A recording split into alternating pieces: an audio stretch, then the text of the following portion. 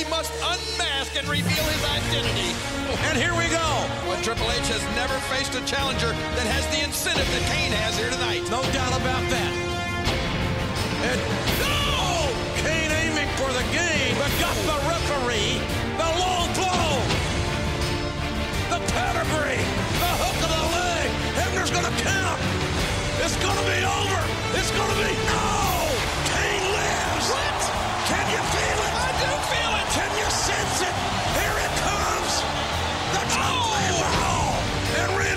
Taking Kane face first down.